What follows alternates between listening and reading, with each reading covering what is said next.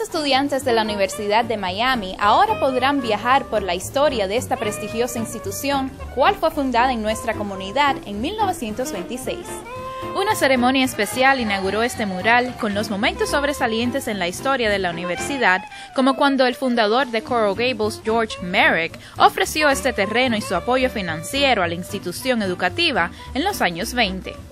Creo que para mí lo importante es que si George Merrick no hubiese tenido la visión para permitirle a la universidad iniciar lo que iba a ser en aquel momento la Universidad Panamericana, la Universidad de Miami no hubiese existido en el corazón de Coral Gables. Entonces es importante reconocer esta increíble contribución en el mural.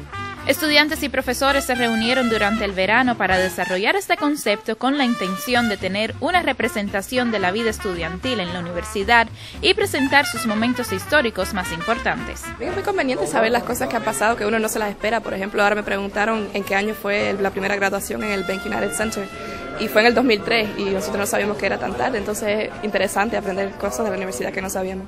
La cronología de los hechos también rinde homenaje a los cinco presidentes de la universidad, incluyendo a la actual presidenta Donna Shalala, quien ha ocupado este cargo desde el año 2001. Para qué pasa Coral Gables, yo soy Verónica Fernández.